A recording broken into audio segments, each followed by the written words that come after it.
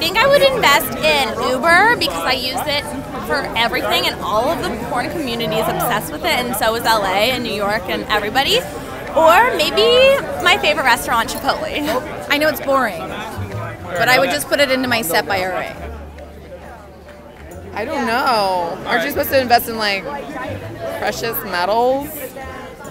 I don't know. I'm stu- I have a lot of shoes. I'm stupid. That's a tough question, but I would say maybe Oculus Rift. Hands down Tesla. I mean, it's a great company. It's green. They they're coming out with a more consumer-friendly price point for a new car. So you know, hey, look, I'm gonna get all nerdy. I'm not gonna talk about porn.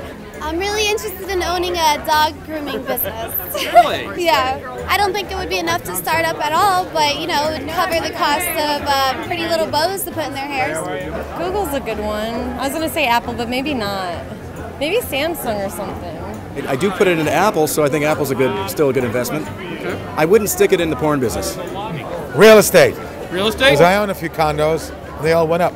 Entertainment is the last thing you should invest in. With the internet, stealing, pirating. I'd say uh, some kind of advocacy group to get rid of like all the GMOs in the world. I would think real estate or put it into my SEP where my financial advisor makes all the decisions for me. I was saying the other day, I was comparing like uh, different cell phone um, people, and I think AT&T is really pushing it, and I think also Flo from Progressive. Flo.